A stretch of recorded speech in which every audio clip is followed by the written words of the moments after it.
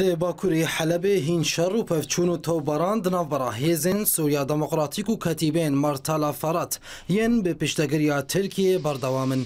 لوی باره هنجه درین لشکری جه باکوری حلب دیار کرن گو هیزن مرتالا فرات به پشتگریا ترکیه بارگهن هیزن سوریا دموقراتیک به چکین کیماوی تو بران کرن وان جدران دانزانین گوهیزن مرتلا فرات یه گل گنده تلمال د بجه بونا بارگهین هیزن سوریا دموکراتیک لگنده تلمدیق یه لدردورا بنداوا شهبا به توپین گمادین کیماوی دناف ده تو باران کرد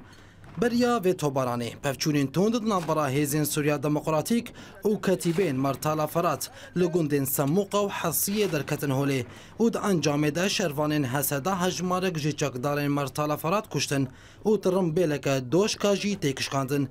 اف پفچون جی هاتن پیشتی گو کتیبین مرتالا فرات را گهاندن گو دی اپراسیونین خول دجی هیزین سوریا دموکراتیک راوستینن او بری خوبدن باجار بابی ید بن کنترولا داعشه ده دا. Ji aliyekî din ve hincêderên leşkerî diyar kirin, gon hin firokên nenas, got texmîn heye yên rejîma Sûrî ne, bargihên Martala Ferhat topbaran kirin. Heman jêderan dana zanîn, gopiştî hêzên Martala Ferhat, gundên Tilçîçan û Tilmadîq ji hêzên Sûriya Demokratîk kontrol kirin. Hin firoke got texmîn heye yên rejîma Sûrî ne, xalên Martala Ferhat bi hejmarek bermîlên teqîner topbaran kirin.